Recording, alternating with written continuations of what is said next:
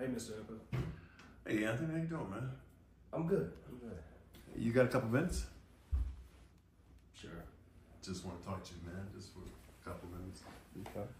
Listen, I, uh, I think probably the best way to start this conversation is for me to just simply apologize, first of all, for coming in on you unexpectedly. This is your home, and I just want you to know I respect you for that. Um, and it was probably not right. All good. Yeah, We're family. so. Yeah, well, you know, I, I caught you in a, at a bad time. The second thing is, I apologize for the blow up. I mean, it was just, it was a crazy day. And, Ah, yeah. That was crazy. Crazy things were said. Yeah. And I, I just know that uh, I'm just concerned about you and Amber, as any father would be. But I just need you to understand I'm, I'm just as concerned about you as I am about her. And the reason I say that is because you're the man of the house, you're the leader. What I told you the other day about you being responsible for joy and peace and love in your house, I really meant that. It's that man's responsibility to create that environment. And I know you and Amber probably got plans to have kids. At least I hope you do, you know. And, and I'm just a little concerned uh, about how those kids would be raised, especially in this time. Uh, you know, the times that we live in.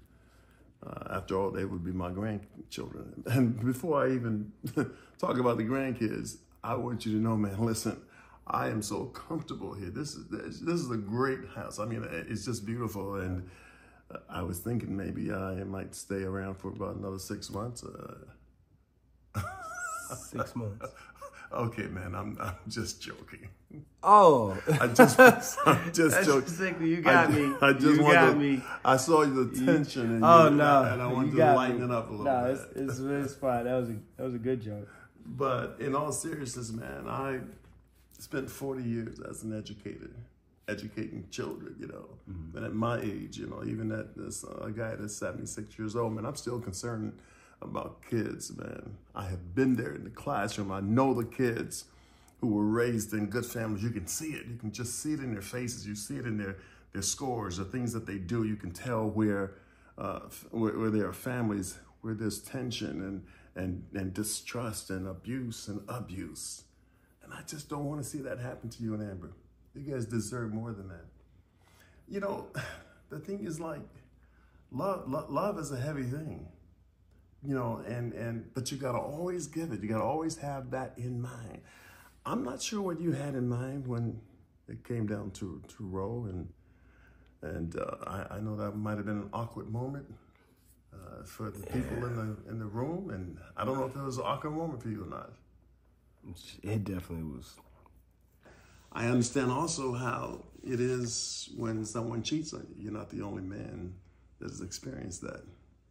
I had a woman from Virginia, man. I, I loved her, man, and I, I thought she was the best things, you know, ever. And she cheated on me. It was hard to deal with. Now, Amber's mom, on the other hand, beautiful lady, man. I never had a problem with her. and she left here, but that's God's business. But when it comes to you and Amber and, and children, you know, I, I- I know perhaps you might want to have a baby. I mean, that's usually the agenda when two young people get married. And I know that you would be a great father. I know that Anna would be a great mother. And you guys are intelligent. You're attractive. You can. I know you can get it done. But there's some things you gotta understand. There's some things that you just have to really just you know, sacrifice.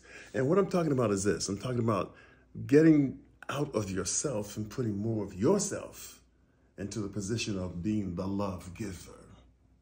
You know, being that prolific person in the house that just says, hey, this is my house. I'm going to bring the peace. I'm going to bring the joy. I'm going to bring the happiness.